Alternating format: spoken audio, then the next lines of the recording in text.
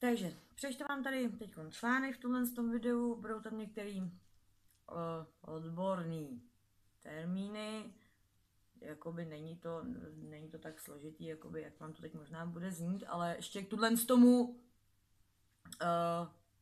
budou další dvě videa, kde úplně jednoduše vlastně bude vysvětlen to, co teď zrovna třeba plně nebudete chápat kvůli tomu, že je to taková odbornější terminologie. Ale když si pustíte tam ty dvě videa, tak to pochopíte a nic složitýho na to není, je to jednoduchý. Jo. Tak. je to článek z 21. října 21, což znamená, že je vlastně už skoro rok starý článek. A je to venku. Už i oficiálně přiznali grafen oxidové morgelony na respirátorech. Proto vám říkáme, žádné respirátory ani jejich nanoroušky. Na hubu normální doma ušitý hadrák, abyste si alespoň mohli ještě nakoupit.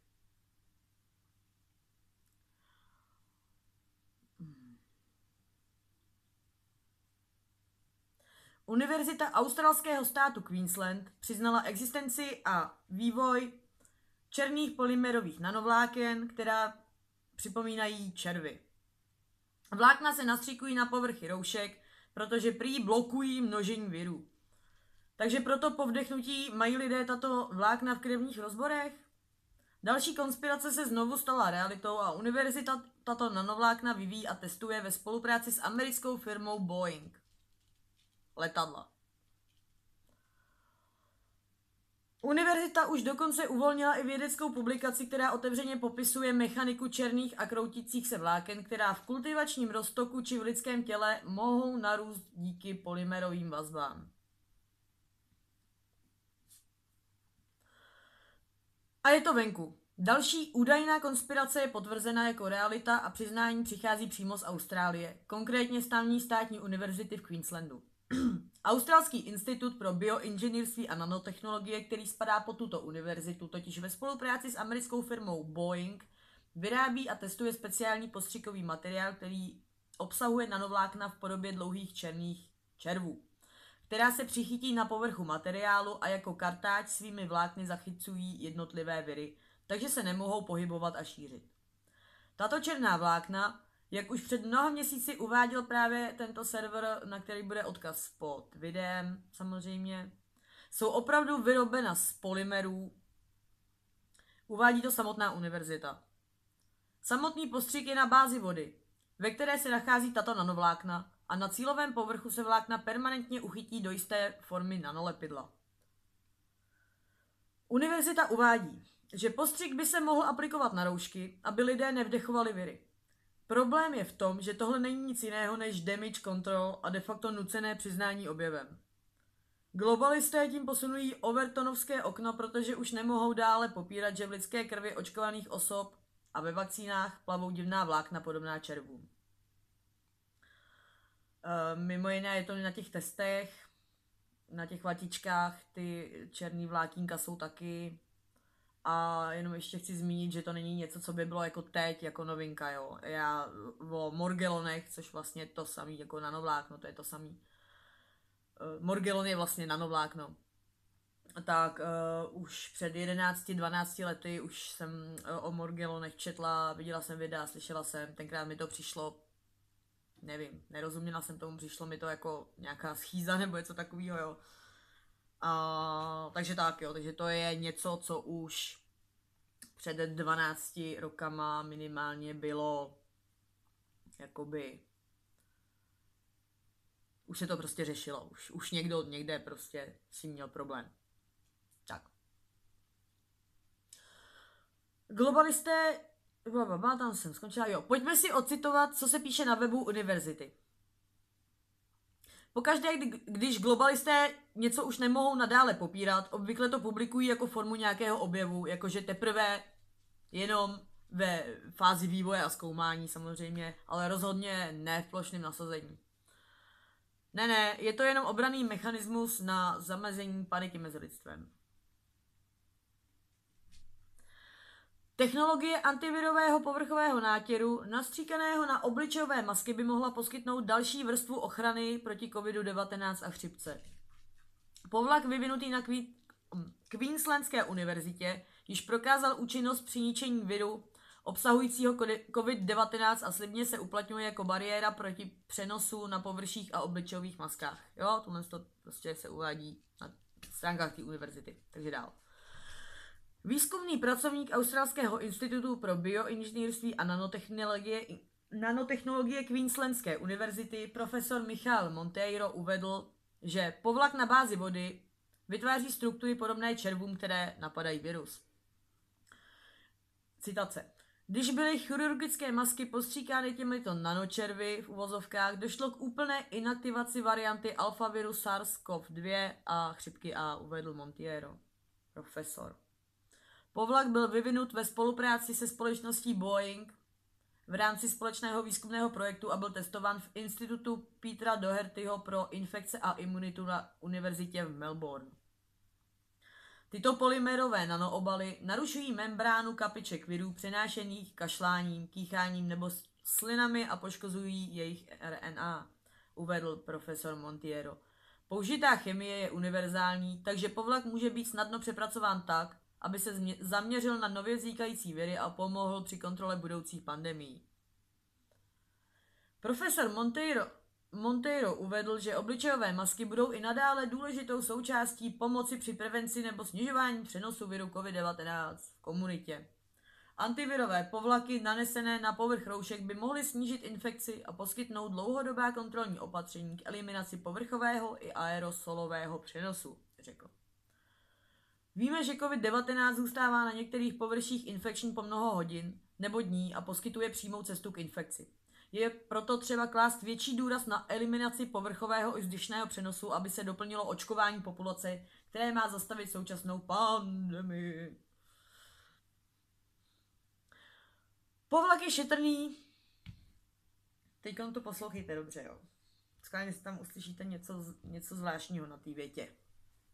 Povlak je šetrný k životnímu prostředí, je na bázi vody a jeho syntéza odpovídá výrobním postupům používaným v průmyslu barev a nátěrových hmot.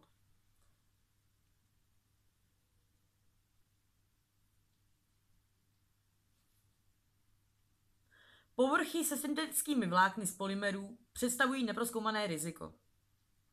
Univerzita již publikovala vědeckou studii, kde je celkem logicky a pro laickou veřejnost přístupným způsobem vysvětleno, že vlákna fungují jako de facto kartáč, respektive chlupatá deka, která do svých vláken zachytí viry. Jenže tato vlákna jsou k povrchu materiály přichycená jen elektrostatickými silami povrchu a pomocí lepkavých proteinů.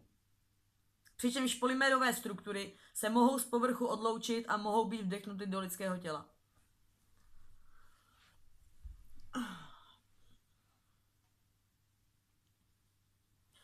Přestože, vě, přestože ve vědecké studii nejsou provedeny testy a klinické studie, lze se domnívat, že po vdechnutí se tyto polymery v lidském těle budou chovat úplně stejně, jako se chovají běžné polymery a polysacharidy přírodního původu, které si vyrábí samo lidské tělo.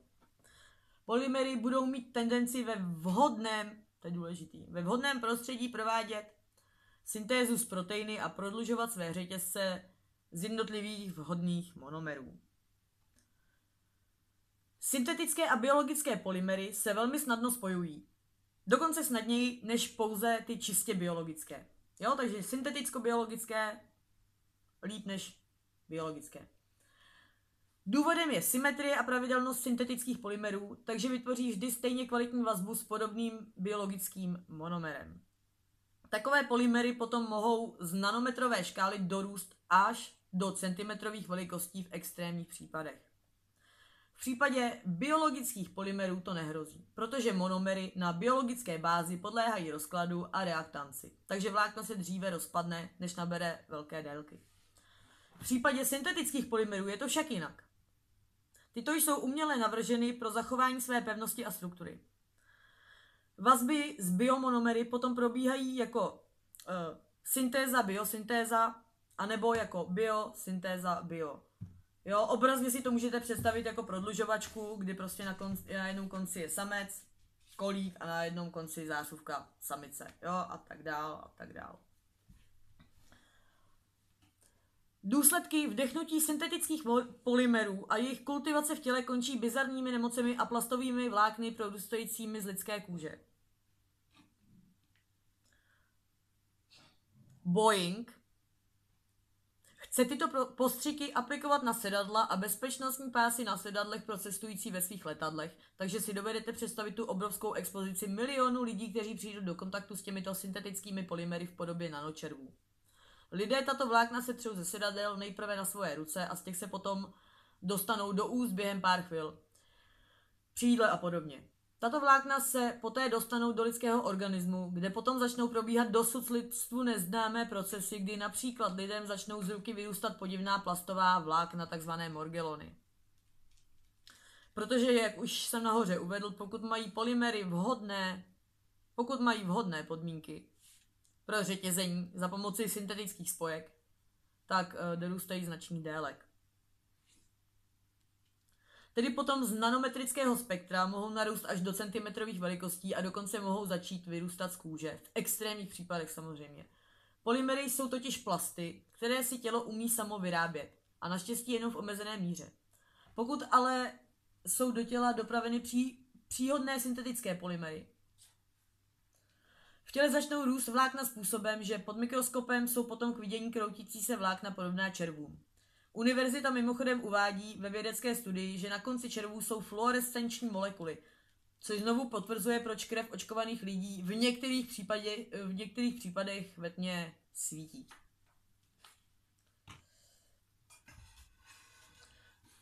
Používání nanomateriálů v široké populaci je vysoce nebezpečné a dosud neexistují žádné dlouhodobé studie zdravotní nezávadnosti.